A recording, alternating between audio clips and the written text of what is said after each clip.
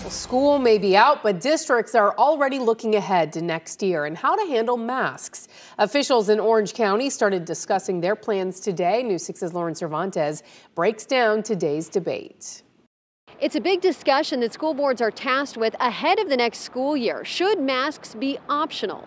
Well, today, Orange County Public Schools held a work session to discuss just that. In our revision, Face coverings will be permitted at the discretion of each student, employee, visitor, or vendor, but it will not be required. Orange County Public Schools laying out proposed revisions to the current mask policy, which would make masks optional for the upcoming school year. The whole purpose for revising the rule covering policy to make the wearing of uh, face coverings voluntary is based upon guidance from the state. The meeting, which OCPS says will not include a vote today, had doctors weighing in on the subject, some expressing concerns over making masks optional. I do agree that uh, mask use will be helpful especially in that population of children that haven't had the opportunity to be vaccinated. But other medical experts calling for the option to wear them. I would conclude for you at this point in time that we can permit masks to still be used with guidance to parents, staff, visitors, and vendors who are unvaccinated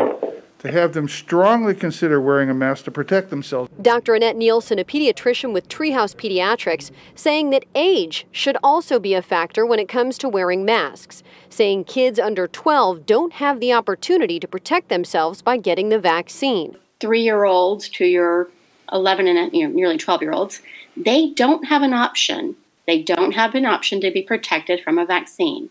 We, however, have an option, and I believe a duty to keep that subset, that group, protected. I feel that that group should wear a mask until we have the ability for that group to actually have a vaccine option. Again, no vote today, but OCPS says the proposed effective date for the revisions would be no later than August 2nd. And Orange County wasn't the only district to meet today. Osceola and Seminole counties both held school board meetings to discuss their mask policies for the upcoming school year. For now in Orange County, I'm Lauren Cervantes, getting results, News 6.